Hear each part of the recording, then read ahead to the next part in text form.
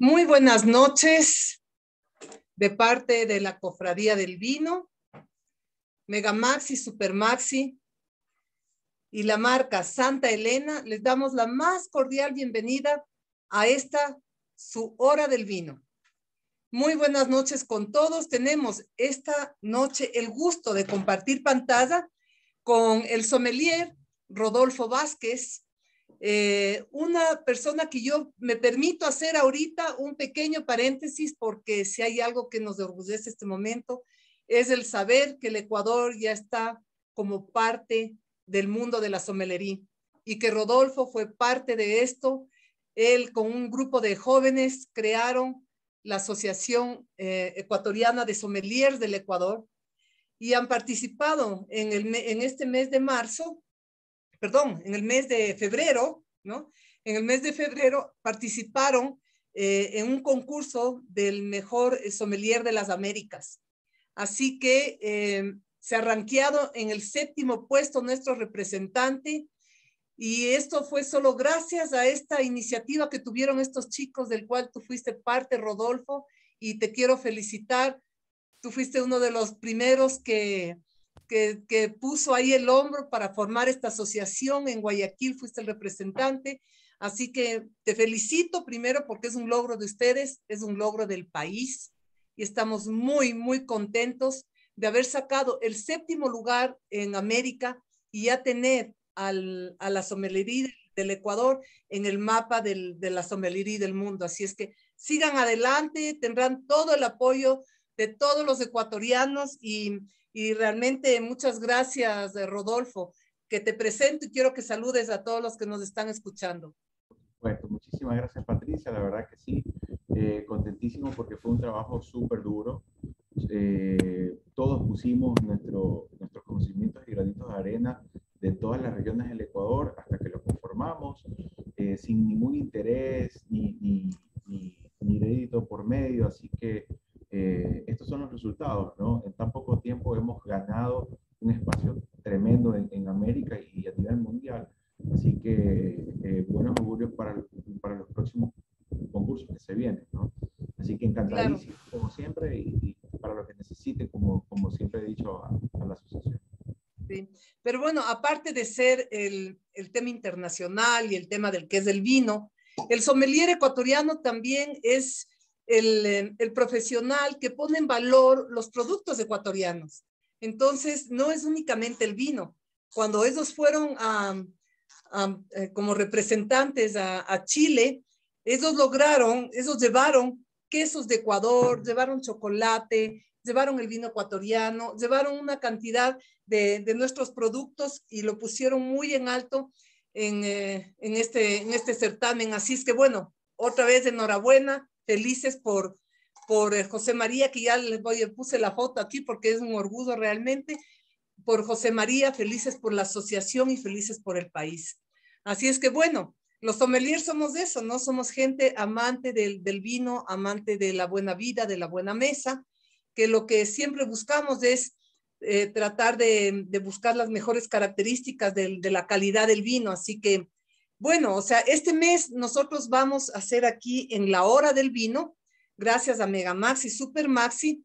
El tema todo este mes va a ser de la viña a la copa. Así es que no se pierdan, estas son nuestras agendas. El día de hoy eh, nos acompaña Santa Elena con la elaboración del vino. El viernes 11, eh, magia de los blends. Eso les apunto para que se vayan guardando el día, ¿verdad? Eh, después del miércoles 16 con Altavista, vinos con crianza. El viernes 18, el reservado rosé, que, vamos a hablar de vinos rosados. Y el 25 de marzo tenemos eh, Santa Carolina. Esta es nuestra agenda del mes con unos chéverecitos de aquí está. Felicitaciones, José María Aguirre.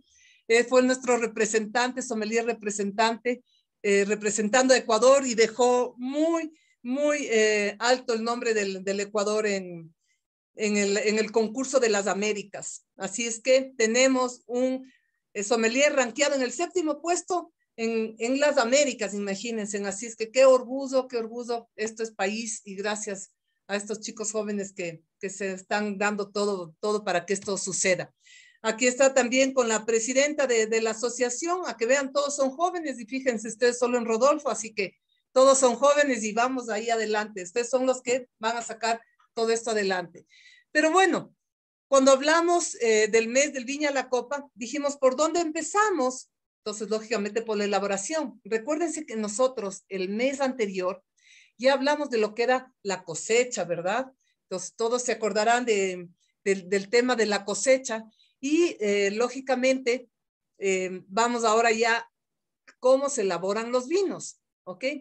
Qué, bien, nos están saludando. Bueno, les cuento a todos los que nos acompañan esta noche Mándenme sus correos electrónicos para que participen a final del mes en la rifa de algunas botellitas. Así es que mándenme sus correos electrónicos y desde qué parte del país nos están, nos están escuchando. ¿Ok?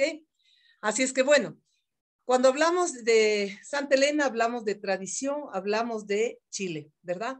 Entonces, ¿qué es lo que nosotros, eh, que fue además del país, el país que sede del concurso de las Américas, y donde la impresión de todo lo que viene del, del mundo chileno es, es, es, espectacular realmente. Así es que bueno, cuando nosotros hablamos de la elaboración de vinos, es súper, es, es, muy, muy importante eh, saber primero qué es lo que vamos a catar, porque muchos de ustedes ya lo deben tener en casa. Así es que vamos a catar un chardonnay, ya un chardonnay que pasa por madera, una uva blanca que pasa por madera, y vamos a catar un eh, siglo de oro merlot que es una cepa emblemática también de Chile, ¿verdad? Y bueno, primero tenemos que partir por el concepto, ¿ya? ¿Por qué es el vino? Dice, el vino es el resultado de un proceso natural de fermentación, donde el azúcar del jugo de la uva, ¿verdad? Se convierte en alcohol. Entonces, este concepto tiene que ser súper claro porque lo que vamos a ver nosotros después es un milagro de la naturaleza. ¿Por qué? Porque esa fermentación se realiza naturalmente por, eh, por todas las enzimas y por todas las levaduras que tiene la misma fruta que convierte todo ese azúcar en alcohol, ¿verdad? Cuando nosotros hablamos de la elaboración de vinos, lo primero que pensamos cuáles son vinos blancos, vinos tintos, vinos rosados, ¿verdad? Claro, nosotros sabemos que del vino blanco, de las, perdón, de las uvas blancas se hace vino blanco. De las uvas tintas se hace vino blanco. Ustedes dirán, ¿cómo? De las uvas tintas, vino blanco. Sí, porque las, digamos, el jugo de la uva es blanco, de la uva tinta es blanco, ¿ok? ¿Y cómo tiene ese color tinto? Pues ya lo vamos a ver en las elaboraciones. También se hace vino rosado y lógicamente vino tinto. Esto concepto y este tema súper claros. Vamos a ver adelante. Cuando nosotros tenemos ya la uva blanca que llega, ¿no? que se, despaliza y le sacan, ese despalizado es tan, tan eh, digamos, amable, que le sacan al, granito casi entero, ¿verdad? Ese granito casi entero se, se, lo estruja, o sea, solo se le parte, se le da una pequeña presión, ¿ya? Y con esa pequeña presión se le pasa ya abierto el granito, lógicamente empieza a, soltar su jugo y pasa a un proceso de maceración. Cuando hablamos maceración, ¿qué es ¿Cuál es el concepto de macerarle? Es bueno de extraer todos los o de concentrar los aromas. Ustedes han visto cuando a veces preparan algo el día anterior, lo dejan macerado para el día siguiente cocinarlo o meterlo al horno. Bueno, ese mismo concepto se tiene en lo que es la maduración, que es que extraer los aromas y los sabores de la, de la cáscara, ¿verdad? Luego, lógicamente, va a un prensado donde sacan ya únicamente el jugo. Fíjense que no le han echado absolutamente nada. ¿ah? Es el jugo de la uva, ¿ya? Que después de estar por este proceso de, maceración, se lo prensa, sale el jugo, ¿verdad? Ya se separa de la cascarita, sale el jugo y ese jugo empieza en un proceso natural porque tiene sus levaduras que se van comiendo el azúcar y la van transformando en alcohol, ¿verdad? Ese jugo se va convirtiendo de a poquito en alcohol, En, en, vino, ¿verdad? Entonces, ¿qué pasa? Pasa un proceso de maduración y crianza que les llama, pero maduración y crianza en el sentido de que le van a estabilizar un poco al vino, porque claro, fíjense ustedes, este es un jugo que tiene vida todavía y que tiene un proceso eh, de estrujado, de maceración, de prensado. Entonces pasa un sistema de estabilización, ¿ya? Donde le dejan reposar, luego lo filtran le filtran, quitan todos los residuos que quedan y lo pasa a un envasado y embotellado. Ese es el vino blanco. Fíjense ustedes, todo un proceso, extraen el jugo, lo fermentan, lo embotellan. Ese es el vino blanco, ¿de acuerdo? Y ese es un vino que se lo tiene que tomar joven, ¿ok? Normalmente los vinos blancos no pasan por un proceso de barrica, ¿ya? Solo hay muy pocas variedades que pasan por este proceso de barrica porque la, uva lo soporta, porque tiene una piel muy gruesa, y ese es uno de lo que vamos a probar ahora, que es el Chardonnay, ¿de acuerdo? Entonces, en el vino tinto pasa el mismo proceso, ¿verdad? Va al estrujado, de ahí va a la maceración, pero lógicamente en este proceso de maceración, lo que se intenta es sacar todo, porque sale el jugo de uva blanca, o sea, jugo blanco, ¿verdad? Sale el jugo blanco, pero en, este proceso de maceración, cuando ya le, le revientan al granito para que, para que salga todo el jugo y para que empiece el tema de fermentación y esto, se lo deja macerar con la misma cáscara, ¿verdad? Pero se está extrayendo todo el tiempo el color, todo el tiempo el color de esa cáscara. Y lógicamente, como ustedes han visto, cuando hacen un jugo de alguna fruta, llega un momento en que se separa toda la parte sólida de la líquida. Y por eso forman este famoso sombrero que se llama. Fíjense que esto es un tanque de acero inoxidable, ¿verdad? Entonces, aquí en la parte de abajo se va, formando, separando el líquido del, de los sólidos y lógicamente queda un sombrero arriba de todas las, las cascaritas de las, de las uvas. ¿Y qué es lo que hace? Extraer el color. Van extrayendo el color, van extrayendo el color. Luego, el proceso de fermentación, ¿se acuerdan que en el blanco se hacía ya solo del jugo? Aquí no. Aquí el proceso de fermentación se hace con las cascaritas y que logran extraer más color y tener unos aromas, eh, realmente los taninos y los aromas de la fruta de forma eh, espectacular. Claro, pasa la prensa, donde se separa ya todo lo que es de, lo líquido de lo sólido, sacan las, eh, los ollejos, sacan las pepitas sin, sin lastimarlas, ya las, las sacan y pasa ese mismo proceso de clarificación y estabilización, ¿verdad? Entonces, de ahí el enólogo decide, ok, este, este vino que venía, no sé, de tal vez de plantaciones jóvenes, eh, lo voy a embotellar y lo voy a vender como vino joven. O decide, ok, este vino viene de plantas antiguas, tiene mucha concentración y puede ganar muchísimo si yo lo pongo en barrica. Ahí es cuando toma la decisión de embotellarlo como joven o de pasar por barrica para que tenga una crianza. Y lógicamente, después cuando ya decide el tiempo de crianza, va al embotellado y también hay guarda en ¿ok? Y esto, bueno, ya hablamos del vino blanco, del vino tinto. Y este es el vino rosado, ustedes dirán, no me cuadra la foto, ¿no? No me cuadra la foto, pero el tema cuál es? El tema es que de las uvas tintas sacan el jugo blanco y ese proceso de, de pintarle, de extraer el color de las cáscaras, lo hacen solo por horas, solo por muy pocas horas, sacando qué, obteniendo qué, el vino rosado. Así que nosotros tenemos que, vuelvo un poco a la, a la, a la primera, digamos, diapositiva, ¿verdad? En la que decimos de dónde sale qué. ¿Ok? Entonces, ¿qué es lo que hemos tenido? ¿Qué es lo que hemos visto? Que de las uvas blancas hemos hecho un vino blanco y el vino sale para embotellarse y tomárselo joven. Y en la elaboración de vinos tintos hemos visto, si no le hubieran tenido ese jugo blanco que sale de las uvas tintas en exposición en contacto con las cáscaras, hubiéramos tenido un vino blanco. Cuando le dejan poquito tiempo en contacto a ese jugo blanco que sale de las uvas tintas, les dejan poquito tiempo en contacto con las, con las pieles, van a obtener el vino rosado.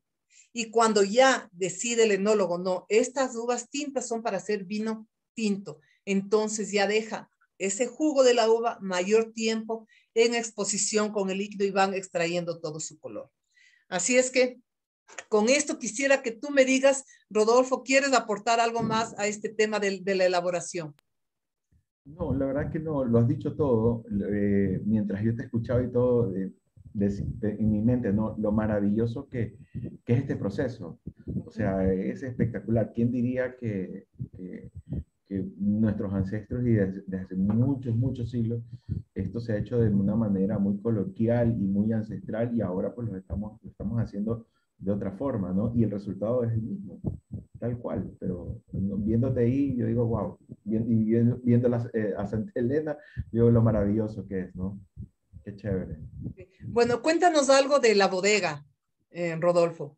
Claro, por supuesto. A ver, eh, bueno, para muchas personas, eh, en lo que he estado ahora con, con la bodega, eh, me dicen, oye, mira, y este vino es, es, un vino casual, es un vino, digo, bueno, a ver, siempre me gusta comenzar por la historia o, o, o los mitos y esto un, un poco es lo bonito de, de, las bodegas, ¿no? Siempre hay una historia por detrás de cada botella. Eh, a comienzos del siglo XX, justamente en Chile, eh, pues eh, un, niñatero, el, el, dueño de esta bodega, cayó enfermo, entonces pues no pudo cuidar su viñedo y todo esto. Los trabajadores y, y, parte de la familia trataron de recuperar, dedicarle tiempo a la bodega, pero, pero se, se deteriorando de una manera notable, ¿no?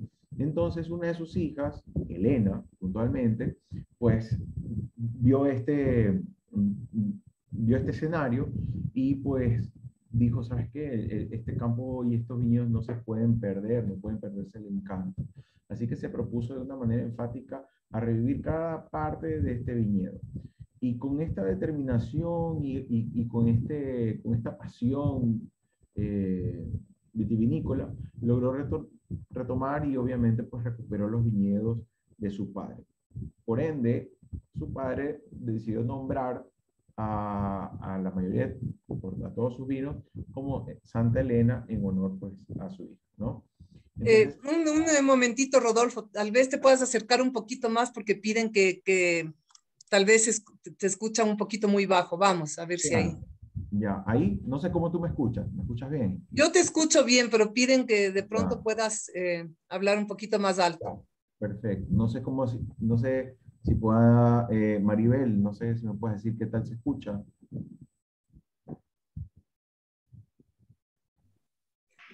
¿O ahí? Ahí ¿Me... estamos, ahí. Mejor. Mucho mejor. Ok, perfecto. Ya, bueno, sí. listo, mejoró. Ya, chévere. Mejoró. Entonces, eh, como les digo, a el resumen. Eh, a comienzos del siglo XX, en Chile, eh, un viñatero enfermo, dueño de las tierras de, que ahora es Santa Elena, pues porque cayó enfermo y toda su familia y los trabajadores quisieron dedicarle tiempo al viñedo, pues no lo lograron, su deterioro era muy notable, empezaron, a las parras a, a morirse, etc. Pero su hija Elena, le dedicó tiempo con esa pasión de, de, de la viticultura, etcétera. Pasión Entonces, de las mujeres, Rodolfo, pasión de las mujeres. La verdad que sí, la, las mujeres tienen mucha determinación en esto, ¿eh? y, y, y, lo digo porque he visto mucho trabajo de las mujeres dentro de, de, muchas bodegas a nivel mundial y son las que actúan con mucha determinación. Y de la Entonces, historia, y en la sí, historia hay muchas mujeres, muchas leyendas de mujeres de qué contar. Y entonces, Santa Elena, bueno, Elena, con esta determinación, eh, decidió recuperar y lo hizo. Entonces su padre, gracias a esto, en honor a, su hija, pues le puso Santa Elena. Y es por eso que podemos nosotros disfrutar un poco eh, de estos vinos. Eso es la parte de la historia. La marca como tal, hoy en día lleva ya 80 años eh, es un vino chileno, muchas personas eh, piensan que es del norte, del centro. Ellos tienen muchas, eh, muchas, muchas, bodegas en algunos valles, pero prácticamente en Valle Maule, Valle Central, es donde ellos más trabajan. La marca como tal tienen reflejado tres principales líneas, ¿no? Santa Elena Gran Reserva, Reserva y sus varietales.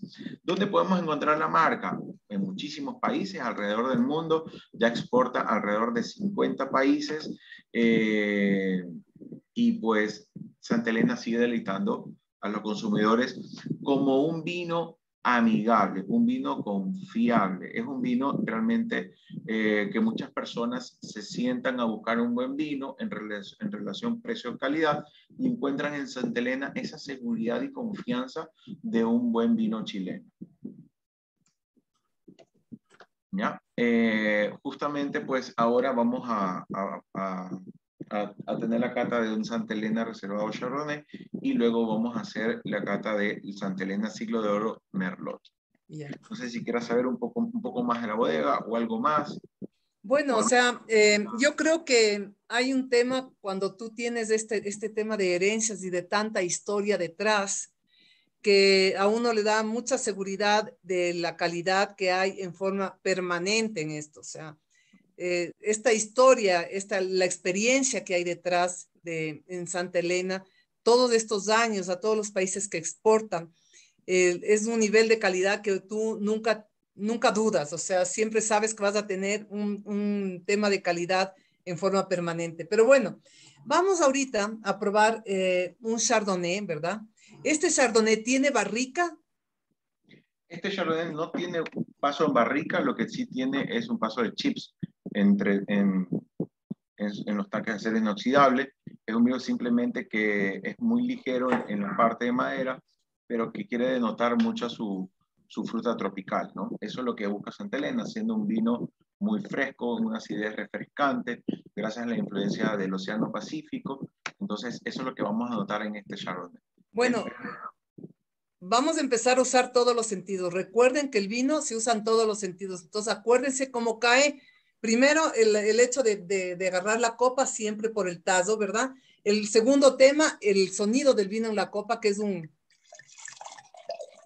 Cada vino tiene su, su, su sonido, cada vino tiene su peso, ya entonces estamos hablando de dos sentidos que hemos utilizado. Bueno, es un color dorado hermoso. Estamos hablando que es del año. ¿Qué año tiene este? Vamos a ver.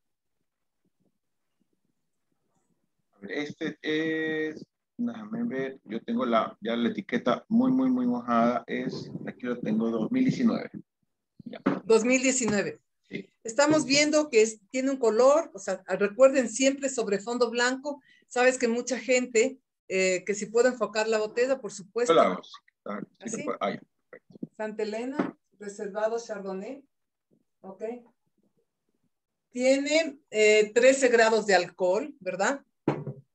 Fíjense ustedes todo ese azúcar que hubo en esta fruta, en esta variedad. Acuérdense, variedad o cepa es un concepto que ya hemos, todos los webinars creo que resaltamos el tema de variedad o cepa, ¿ya? Esta, esta es una variedad cepa, es Chardonnay, ¿ya? Es de una sola variedad, entonces el vino es un varietal, acuérdense bien eso. No significa que varietal es de, de baja calidad ni nada, sino que es elaborado el vino con una sola variedad. Entonces, eso siempre hay que resaltar, ¿ok? Vive el vino, claro que sí, Yaguana, Andrés. bueno, en color tiene, acuérdense otro tema de calidades del brillo, y este vino tiene un brillo espectacular, realmente, y pueden apreciarlo también mirándole desde, desde el otro lado, ¿verdad? Y un color hermoso, ya los ojos dicen, vamos a la nariz. Como dice esa, como dice esa canción, dicen ya los sentidos van pidiendo más, o sea, Vamos a la nariz ahora. Así es. Mm. Hay, un durazno, es súper frutal, es... ¿Sí? Bueno, realmente tiene en nariz mucha fruta, tiene este olor, este sí tiene este, este tema del, chip, ¿no? Del chip que tiene. Sí, es ligero. Es ligero, muy, muy elegante muy elegante, resalta obviamente sus notas tropicales, eh, se, se, le percibe así, como, como tú dices, Patricia, el durazno y una ligera piña también, suaves toques también de, de guineo, plátano. Sí, eso Me vas a creer loca, pero yo vuelo a naranjita. Sí. Sí, o sí tiene ligero, o sea, ligero como ese cítrico, ¿no?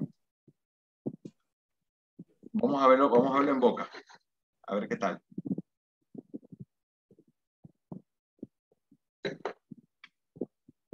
Mm. Este es mi segundo sorbo ya. Ya. Ya quiero el tercero. Pero a ver, es súper elegante en boca, tiene una acidez deliciosa. Recuérdense que cuando hablamos de acidez, hablamos de vino. O sea, todos los vinos tienen que tener su acidez para tener un balance en boca. Entonces, cuando yo digo que rica acidez es porque no molesta en absoluto en ninguna parte de la lengua. Acuérdense que la acidez se siente en estas partes de atrás de la lengua, ¿verdad? Vamos a recordarles el dulce en la punta, el salado en los bordes, la acidez atrás, el amargor aquí y lógicamente la astringencia en el paladar. Entonces, con, esto, con estos datos vamos a, probar otro bocado, ¿ok? Y si quieres, tú ve contestando esta pregunta de Albita Lorena. Rodolfo.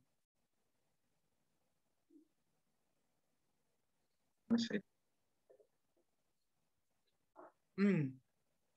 Hay ese durazno en boca, hay un durazno riquísimo en boca, la fruta se le siente en boca, no hay aristas en ninguna parte de la lengua ni en la boca. Hay un pequeñito amargor al final que es... Esa, esa mineralidad también que deja al final, ¿no? Sí, y la persistencia. Recuerden, es otro índice de calidad la persistencia. Y cuando uno ya se tomó el, bocado de vino, ahorita yo te sigo hablando más de ocho segundos y sigo sintiendo ese sabor de fruta en la boca. Es súper bueno esto. A ver, les voy a repetir. Bueno, Albita Lorena, cuando hablamos de, viñedos jóvenes, son como Rodolfo, ¿no? Así eufórico, que, que estas plantas jóvenes dan muchos racimos y a veces al dar muchos racimos la concentración de la uva es mucho más ligera. Ahí es cuando los enólogos en, en, en, lo en general te dicen, ok, como son vinos más ligeros, vamos a hacerles, eh, embotellarles jóvenes, ¿verdad? Cuando uno tiene, cuando la planta tiene más años, ya te estoy hablando ahorita en más o menos, estamos hablando de una planta de 15, 20 años, ya es una planta considerable, ¿verdad? Entonces, ellos tienen una concentración más, más grande de, sabor, de color, de todo. Y esos son los vinos que ellos consideran, eh, tal vez pasarlos por barrica. Eso ya es del artista, ya es del enólogo, el artista del vino el que decide, pero normalmente ese es el criterio, ¿no? Plantas más antiguas, más concentración, porque tienen menos racimos. Plantas muy jóvenes, así todas de, de esas de, como los teenagers, que, ¿no?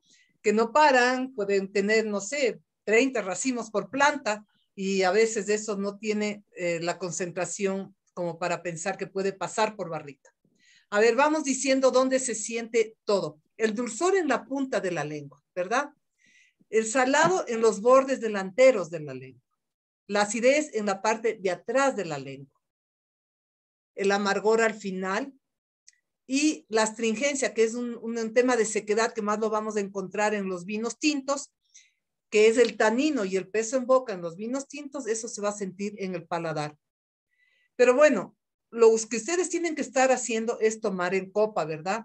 Porque cuando uno toma en copa y de, y de cristal, el tema de dónde cae el vino en boca es importantísimo y ustedes pueden hacer ese ejercicio ahora. Pueden poner un poquito de su vino, de cualquier vino, en un vaso y tomar en copa el otro y van a ver, es impresionante, o sea, cuando uno eh, huele, no sale ningún aroma en, la copa. Eh, cuando uno toma, la cabeza la pone de tal manera que el vino prácticamente cae atrás y no tienen toda esta experiencia de sentir desde la entrada del vino en la punta de la lengua cómo se va abriendo hacia atrás y todo lo que ofrece el vino en boca. ¿Algo más que quieras aumentar? No, este, en el, el tema de la, de la, copa es imprescindible, o sea, inclusive si tenemos copas de vidrio versus cristal, o sea, hay una gran diferencia hasta para poder visualizar el color y todo, o sea, es una, es una experiencia muy marcada, es muy, muy, muy, muy marcada. marcada. Sí, es muy marcada. Y, y, acotando un poquito a la pregunta, a veces no puedo ver el chat, se va muy rápido hacia arriba. Eh, quiero acotarle a, no me acuerdo quién eh, hizo la pregunta de Albita, ya, Albita de las Viñas. Eh, y también vas a encontrar mucho en el mercado Albita cuando hablan de, sobre viñas viejas, ¿no? Entonces, las viñas viejas, por ejemplo, eh, son viñedos de más de 40, 50, 60 años, en la cual ya da unos, unos vinos con un carácter muy, muy, muy diferente, ¿no? Entonces, estos viñedos eh, no están en todo el mundo, como digo, son 50, 60 años que debe tener ya por lo menos esta, esta, esta tierra, esta, esta bodega, ¿no?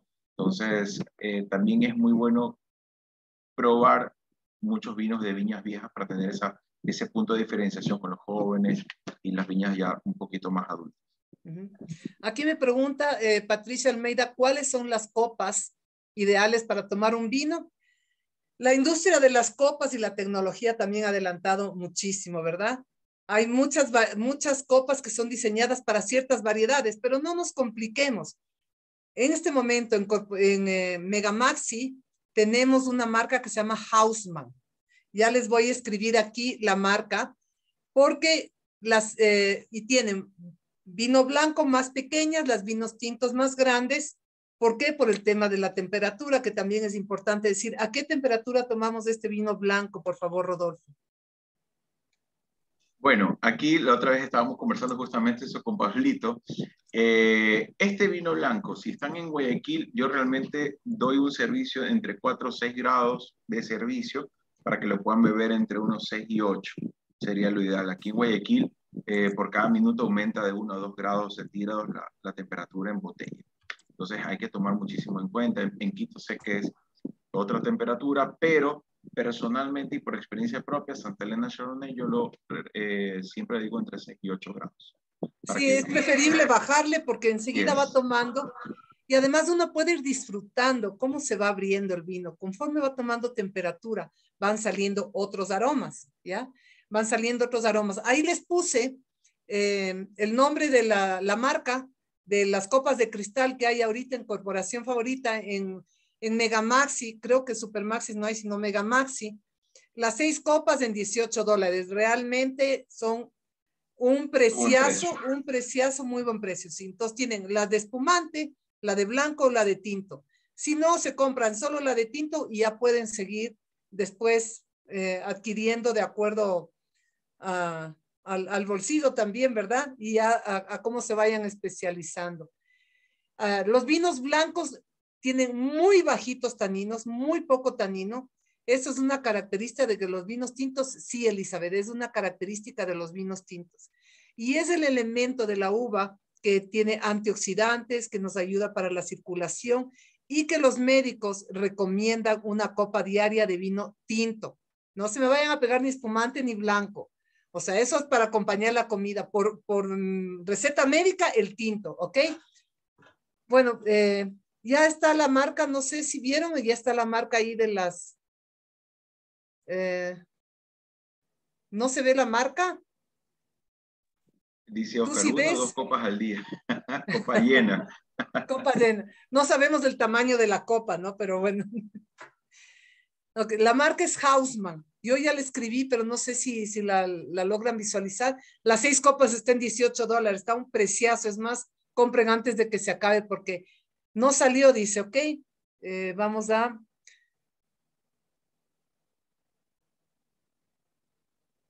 A todos, aquí estamos. Vamos a poner nuevamente. Sí, ahí les puse igual, por si acaso la marca son. ya les digo, hay vino tinto, vino blanco. Las seis copas están en, eh, en 18 dólares. ¿Ok? Y son, son de cristal alemanas. No, es con A. A-U-S-M-M-A-N. Así está. Correcto, correcto, Katia. Entonces, estas, eh, con estas copas ustedes van a tener otra experiencia totalmente diferente. Y hagan, hagan la prueba de poner en un vaso, de poner en una copa de vidrio y ponerle una copa de cristal. Se van a morir. Y si ustedes eso les hacen a los amigos cuando les inviten, va a decir, qué conocedores que son. ¡Wow! ¿Cómo han aprendido en Maxi Vinos en la hora del vino? Así es que bueno, vamos al tinto, ¿no? Vamos al tinto. Sí, por supuesto. Y también un, buena, eh, yo también sabes lo que hago, que a veces cuando vienen amigos y todo, les juego mucho con las temperaturas. ¿no? Ah. Eh, cojo un vino tinto y lo enfrío, pero hasta más no poder, y, y a veces hasta catas a ciegas o la experiencia ciegas y van tomando. Y dice, ¿y esto qué? ¿Esto qué? digo, espérate cinco minutos y empiezan a probar. Y dice, oye, pero ya cambió. Entonces empezaron a, a tener la experiencia, ¿verdad? Desde cero, empezando a, a probar por, por, temperatura. Hasta que uno dice, me gustó el vino a esta temperatura. Y a uno, ahí también uno va encontrando la temperatura ideal para su, disfrute. Porque hay personas que dicen, no, es muy frío, no, está muy caliente, está muy... Entonces, eso es un bonito juego para encontrar el vino a una temperatura que a uno ya le va gustando, ¿no? Y así uno descubre también. Sí, uno también aprende, claro, muchísimo. ¿A qué temperatura te, te gusta? ¿Cómo servir después? Ah, esto, esto encanta cuando te reúnas con los amigos y compren un, eh, chardonnay, este chardonnay de Santa Elena y, y además el merlot, vean las diferencias. Háganles catas a ciegas, pónganles, eh, los ojos y solo hagan que identifiquen si es blanco, si es tinto. Es increíble, porque uno ahorita probando dices, facilísimo. ¿Cómo voy a, no voy a distinguir un vino blanco de un vino tinto?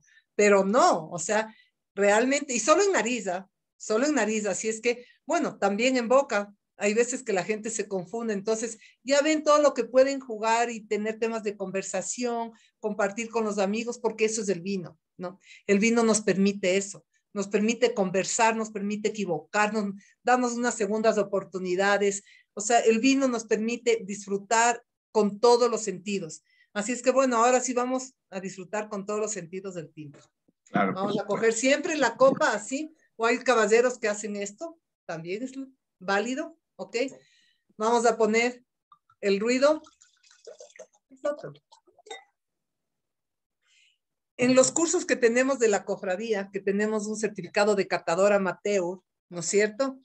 Tuve la suerte de tener un músico un día en estos cursos que damos todos los meses, y este músico eh, dijo que él nunca se había fijado, o sea, a pesar de tener un oído musical, en el ruido que hacía los vinos en la copa. Y claro, cuando servíamos el espumante, él decía, esto es como que llega una, una ola y se pierde en la orilla del mar. O sea, se pierde en la orilla del, del, digamos, de la arena. Y es verdad, o sea, el otro día pusimos y era como un, uno, como que viene una ola y se pierde al final. Entonces, fíjate esta cosa tan linda que es, el, cómo comunica el vino tantas cosas, ¿verdad? Bueno, vamos a ver un color, wow, tiene un color intenso, ¿ya? Tenemos que empezar a hablar ya con, si no, no logramos identificar, decir si es un rubí, si es un violeta, si es un, un cereza, lo que sea, no importa, me gusta o no me gusta el color. ¿Y qué comentario vamos a hacer? Qué lindo color del vino, mira, sí, qué, concentrado el color, ¿no? Porque casi no, no transparenta, qué lindo el color, ¿verdad? Acuérdense que si nosotros le damos un poquito de, de giro a la copa, vamos a ver qué.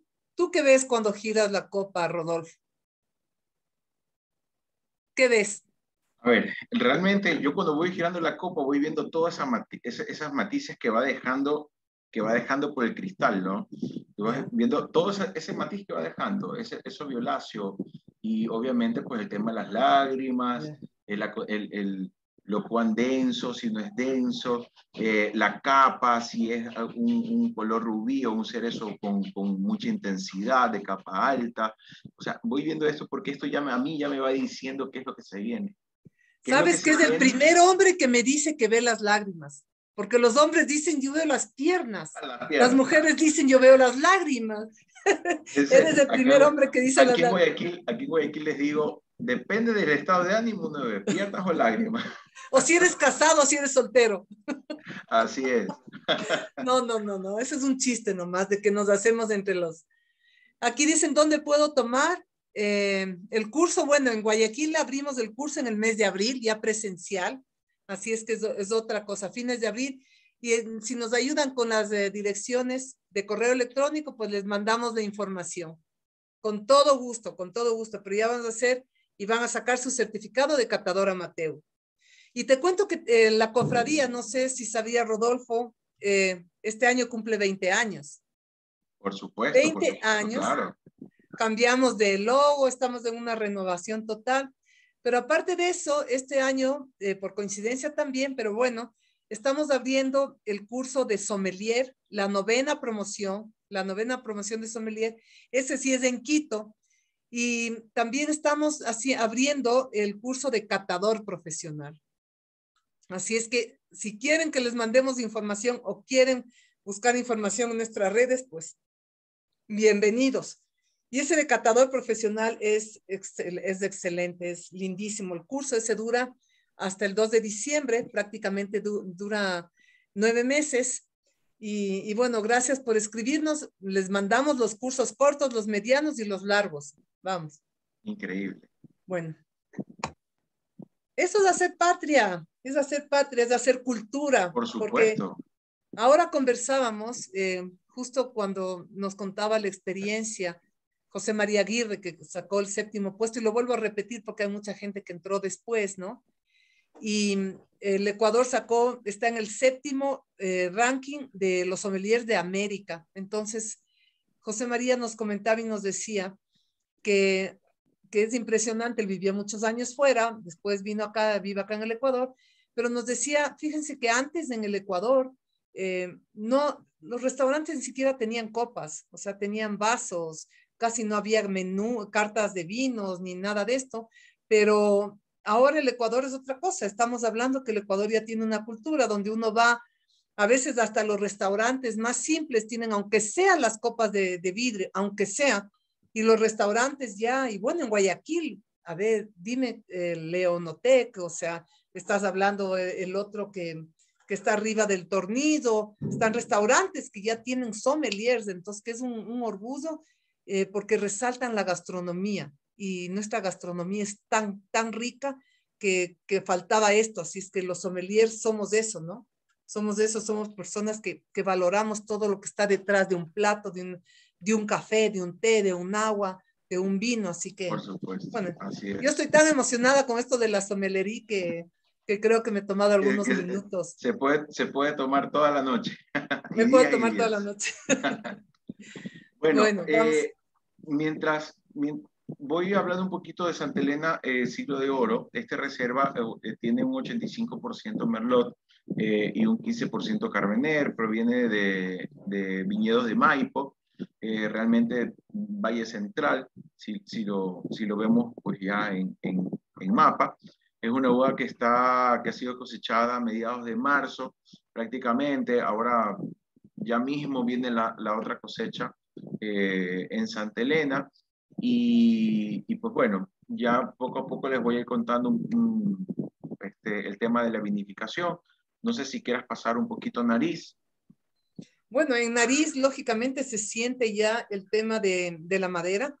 Cuando uno tiene eh, el paso de un vino tinto por, por barricas, pues ya tiene otro tipo de aromas en nariz. Y, y, esto es puro ejercicio, ¿no? Esto es puro ejercicio porque ustedes dirán, bueno, ¿Cómo así huele a madera? ¿Qué huelen las otras cosas? Bueno, es primero eh, hay la tipicidad de la variedad, ¿ok? Entonces, normalmente un merlot tiene estos aromas, eh, a lo menos cuando pasa por madera ya tiene estos aromas a humo, ¿no es cierto? Tiene un humito abajo, tiene un tabaco, tiene un fondo de fruta, tiene un fondo de ciruelas. Sí, tiene unas ciruelas, pero súper marcadas tiene un poquito de especies y uno dirá, ¿de dónde saca Patricia todos esos aromas? Bueno, son las moléculas de la tierra, son los aromas específicos de qué? De la uva, de la elaboración y de la crianza. Acuérdense que hay tres tipos de aromas, que es la primaria, la secundaria y la terciaria, que es el de la uva, el de la elaboración y el de la crianza. Y para darles un ejemplo clarísimo de eso, cuando uno tiene una menestra de, lenteja, ¿ya? Y ya la ha elaborado, ¿no es cierto? Cuando uno se acerca, porque ya la dejó ahí a descansar, cuando uno se acerca huele la lenteja. Cuando uno la mueve, ¿verdad? Salen los aromas de la elaboración, la cebollita, el ajo, el, tomatito, qué sé yo. Pero cuando uno la deja al día, hasta el día siguiente y uno dice, no, es que esta eh, menestrita guardado un día es mucho mejor, tiene otro tipo de aromas.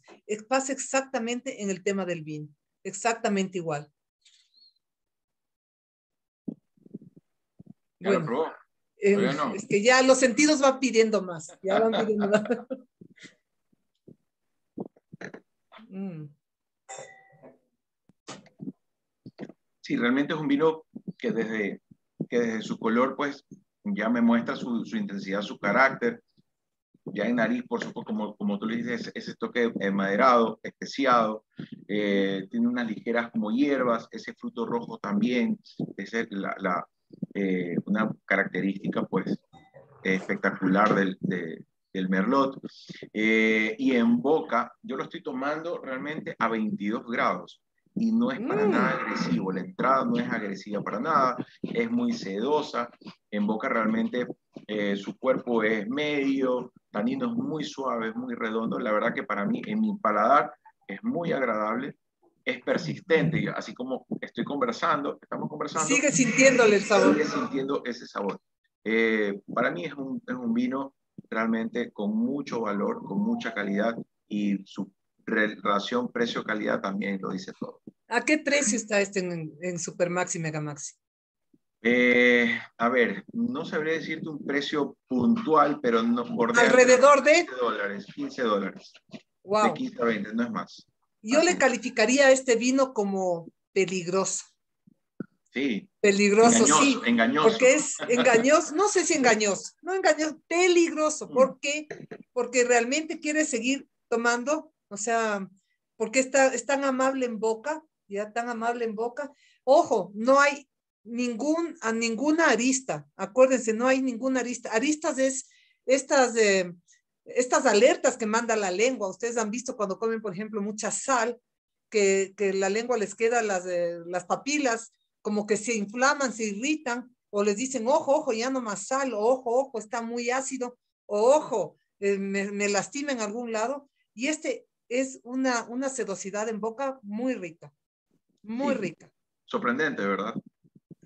No me sorprende de Santa Elena. Realmente yo sé que cuando compro estos vinos, no, no me fallan nunca jamás. Esto es como para compartir con amigas, por ejemplo, porque es un vino que se lo puede tomar hasta a veces sin gastronomía o, con, algo, con algo ligero, con algún bocadito, algún sanduchito, hoy para llevarse a un picnic, o sea, esto es, pero, pero ideal. Solo está súper bien, solo está súper bien. Sí, por eso digo que es peligroso, porque uno ya quiere un poquito más y un poquito más, o sea, porque no te satura. Un, un cuarto de botella llevo. solo. sí, muy rico, la verdad. Eh, para este mm, tiene un paso muy ligero en barrica, tres meses, es muy, muy ligero, por eso es que tampoco es muy, eh, muy abundante este sabor y este, estos aromas de madera, ¿no? Realmente, en tanino es un tanino Acompaña muy bien, acompaña muy bien. Así es. Acompaña muy bien la madera, acompaña muy bien eh, la fruta, también es largo, una persistencia larga. Tiene 13, 13 grados de alcohol. No hay mucho azúcar residual, alrededor de los 3 gramos por litro. Eh, es un vino que ha estado, que se ha empezado a fermentar en un rango entre los 25, 27 grados centígrados. Se fermenta en, en tanques de acero inoxidables. Eh, se trabaja muchísimo en los remontajes, pues, ¿no? Para dar esta, esta intensidad o este carácter pues, que tiene este, este famoso merlot. Pero coméntales lo que es un remontaje. Coméntales lo que es un remontaje, eh, ya cuando vimos el tema de la... Claro, claro. Es, eh, a ver, esto siempre yo lo digo como, como tienes la imagen del té, ¿no? Cuando uno tiene la bolsita de té, ¿verdad? Y uno lo remoja y el té se queda en la superficie, gracias por, en, la fermentación, gracias al, CO2 o al, al, carbono, pues los ollejos y todo esto sube a la superficie y forma un pequeño sombrero, ¿no? Este sombrero se solidifica por la falta de humedad y por ende se pone muy, muy, muy grueso. ¿Qué pasa con la, voy a hablar en terceras partes, la primera, la segunda y el tercer, la tercera parte en un tanque de acero inoxidable. Quizás aquí voy a tener una maceración a un 100%, en, una, en la segunda tercera parte tengo una maceración a un, a un 75-50 y abajo voy a tener como que una agua de vino. Entonces, para yo poder tener un vino de características homogéneas, equilibrado y, y de una, eh, de, más que nada, de características organolépticas homogéneas, yo necesito pues estar en constante eh, eh, mezcla, pues, ¿no? para yo poder a, mi mosto darle todas las características homogéneas de este vino. Entonces, hay muchas formas de hacer un remontaje. Eh, una de las, de las que mayor se hace en las bodegas es en la parte inferior de los tanques de acero inoxidable, hay una pequeña salida para una manguera conectada a una bomba de aire en la cual saca el mosto de la parte de abajo y con presión remoja en la parte superior. ¿Esto qué hace? Remoja este sombrero sólido, ¿verdad? Y en la cual pues empieza todo este, estos joyejos empiezan a mezclarse eh, nuevamente con todo el mosto del, tanque de acero inoxidable. ¿Esto cuánto se hace? A veces hay bodegas que lo hacen dos veces a la semana, tres veces a la semana, bueno, influye muchísimo pues, en, en, el análisis que hacen los enólogos o los hacedores de vino pues, constantemente. ¿Sí? Es un bonito proceso. Eh, hay otros procesos que son los banotage, que son simplemente pues rompen el sombrero con, con, con bastones de acero y, y, hacen el mismo efecto, ¿no?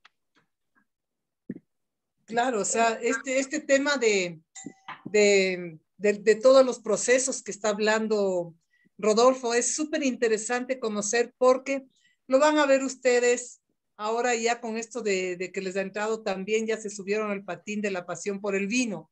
Ya no se pueden bajar cuando vayan ustedes a verlos de, en las bodegas, ustedes van a poder apreciar esto en forma eh, presencial y van a poder darse cuenta la maravilla de fruta que es esta. Aquí tenemos una pregunta sobre qué rato le echan los sabores. No le echan absolutamente nada. El vino es el jugo de la uva. Ya vimos el concepto, que es el jugo de la uva, es el resultado del jugo de la uva. Esta uva de la planta Vitis vinifera, que es la planta que produce las, las uvas para hacer el vino, estas uvas, lo que sucede es que tienen las moléculas de la tierra. Tenemos más de 5.000 variedades, ¿ya? Y los aromas que están ahí, ya les digo, son por tres conceptos. El primero, el aroma de la fruta, ¿verdad? De lo que es así. El segundo, cuando se elabora. Entonces, en el proceso de fermentación, cuando se, se transfiere ese, ese azúcar, se transforma en alcohol, hay una cantidad de, de, moléculas que van saliendo que tienen esos, esos olores y esos sabores en las cáscaras, en el jugo, ¿ya? Y después tienen ustedes el proceso de la crianza. En el proceso de la crianza, cuando van a barrica estos vinos, la barrica le aporta también diferentes tipos de aromas y sabores. Lo que estaba diciendo Rodolfo, por ejemplo, aquí se le siente un poquito la madera en la boca, porque claro, pasó por madera, ¿ok? pero le dan ciertas características. Entonces, eso es lo maravilloso del vino, que es una bebida, que es el jugo de la uva, que en un proceso natural, con sus mismos eh, levaduras, toda esa azúcar, porque esas uvas son mucho más dulces que las de mesa, toda esa azúcar se convierte en alcohol y eso es el vino, ¿ya? Ustedes me dirán, pero pucha, tantos sabores en cuenta. Bueno, yo les reto a que cojan dos naranjas, dos manzanas, ¿verdad? La manzana verde, la manzana roja, ¿ok? Que las partan en el medio y que huelan. La manzana verde tiene aromas a limón, a naranja, a cítricos, es pero totalmente cítrica, ¿ya? Y la misma, la manzana roja, dos manzanas, la manzana roja la parten y tiene, huele a frambuesas, a dulce, a otro tipo de frutas. Esas son las moléculas de la tierra, esa es la maravilla de esta planta, que es la vitis vinífera, que es una planta estresada, que tiene una de las raíces más largas del mundo, llega a medir hasta 20 metros, imagínense. ¿Por qué? Porque como se da en los terrenos, en el tipo de tierra que donde no se da nada, porque son bien pobres, ¿ya? Esta planta empieza a surcar por los diferentes eh, estratos de la tierra, las diferentes capas de la tierra, buscando alimento, buscando agua, buscando eh, todos los, nutrientes, ¿verdad? Y, realmente sacan estos racimos de uvas que son un espectáculo y que eh, ha logrado que en todo el mundo desde hace ocho mil años tengamos vino en nuestras mesas. Así es que bueno, se está, estamos llegando al tiempo. ¿Alguna otra información adicional que nos quieras dar, Rodolfo? Eh, no, la verdad que siempre eh, es un honor y, y, la verdad que para mí siempre ha sido, eh, la verdad que con mucha alegría comparto esta, esta, estos webinars con ustedes.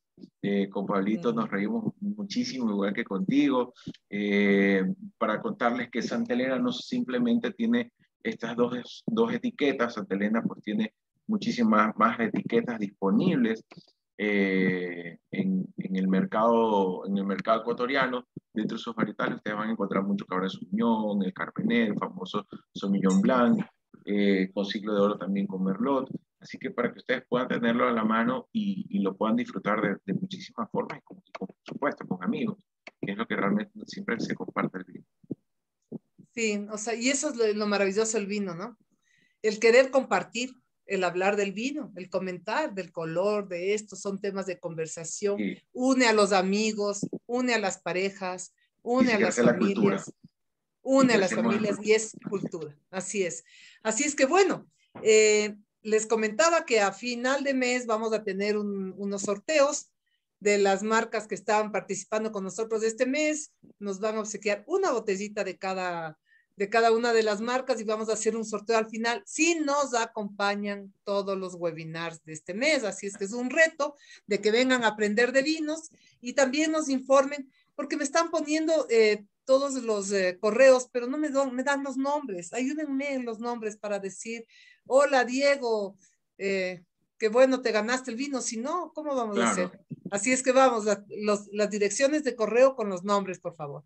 Así es que bueno, todo lo bueno se acaba, ¿verdad? Todo y lo bueno, bueno la hora del vino ha pasado rapidísima. Ha sido un placer compartir wow. contigo, Rodolfo. Te vuelvo a felicitar por todo el apoyo que tuviste para la asociación, Muchísimas que tienes gracias. para la asociación.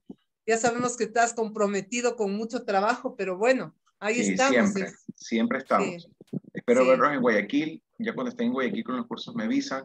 Encantadísimo de, de, de, visitarlos y llevar ahí unos ejemplares para, para seguir disfrutando.